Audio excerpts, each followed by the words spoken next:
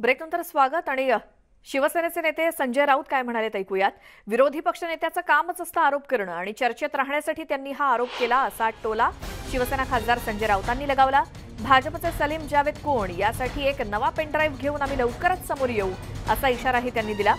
राज्याचं पोलीस चा- चांगलं काम करत असून फडणवीसांनी केंद्रीय तपास यंत्रणांच्या खंडणीखोरीवर सुद्धा बोलावं असं आव्हान संजय राऊतांनी दिलं.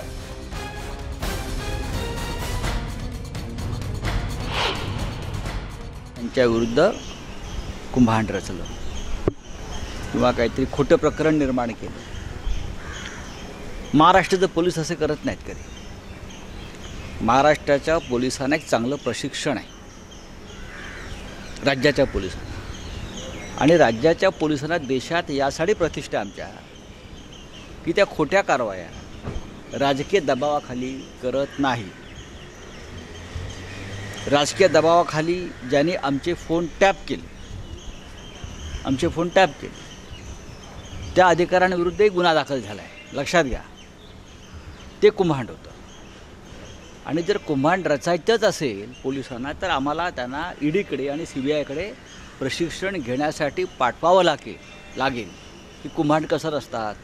खोट्या कारवाया कशा करतात?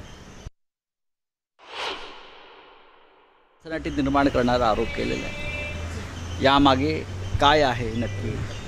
कोण आहे? हे स्क्रिप्ट कोणी लिहिलं आहे भाजपचे सलीम जावेद कोण आहेत? बरं का? त्यातली पात्र कोण आहेत नेपथ्य कोणाचं आहे?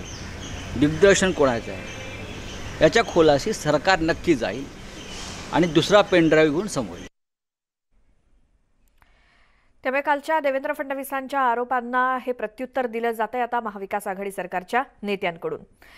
यासोबतच वेळ झाली आहे या बुलेटिनमध्ये आता इथेच थांबण्याची. सगळ्या ताज्या बातम्यांसाठी तुम्ही पाहत राहा न्यूज एटीन लोकमत.